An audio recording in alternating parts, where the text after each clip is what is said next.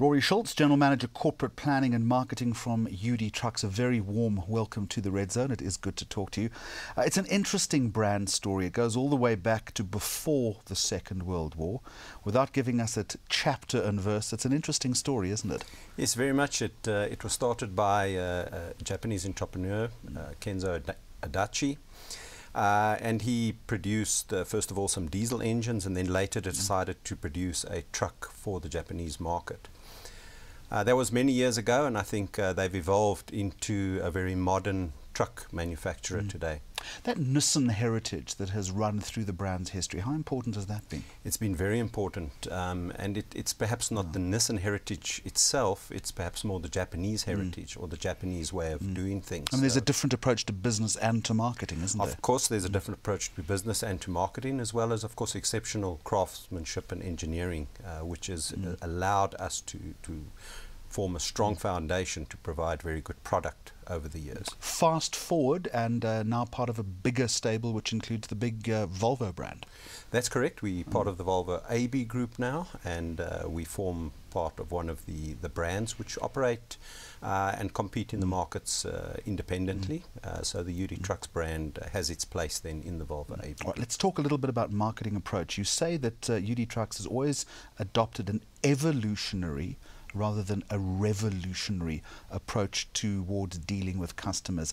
In this day and age, though, many people would say perhaps revolutionary is more important than evolutionary. You disagree with me, though? Yes, I do. Um, we've basically said that, you know, for the South African mm. market or even for the African market, which is a developing market, one has the dichotomy of South Africa, which is, is partially developed, but also is in a phase of, mm. of, of being developed.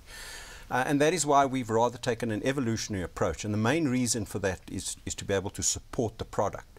We don't want to bring the latest technologies, uh, the latest equipment that cannot be supported. We need to upskill people first before we can bring those technologies. And that's what we mm. mean by an evolutionary approach rather than a revolutionary Do you have a very different mindset when you're buying a truck as opposed to a car? Very much yeah. so. I think uh, the, the purchasing of a truck is the mm. purchase of a business tool.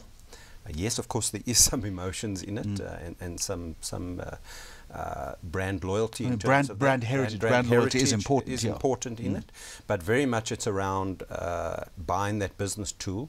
And of course, the most important thing to look for in that is, is what is it going to cost you to operate that vehicle over the life of that vehicle. Mm. So professional partnership is critical not always difficult or not always easy to do. It's, it can be very difficult at times. It's most mm. certainly difficult. I think there's a lot of product parity in the world today, so it becomes more about the relationships.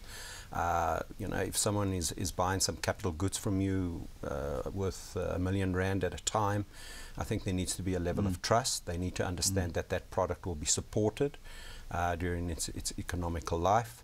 And those with it's it's those partnerships that are important. That the trust can be built up, where the customer can say, uh, I, will I'll do business with you." Understand that, but not always difficult to to maintain.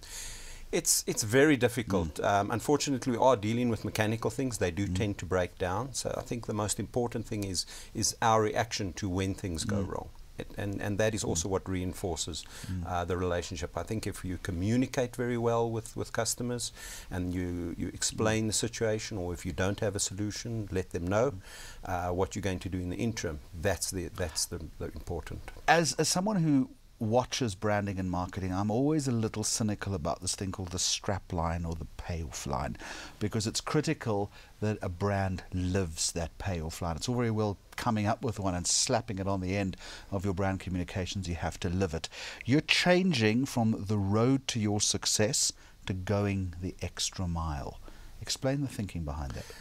Uh, Jeremy, the thinking behind that was um, we we developing new product and we, we've changed a little bit our mindset around that product. The, the, product has three key issues in it that we're trying to look at. We're trying to look for a modern, smart solution for our customers. But on top of that, we want to excel on the essentials.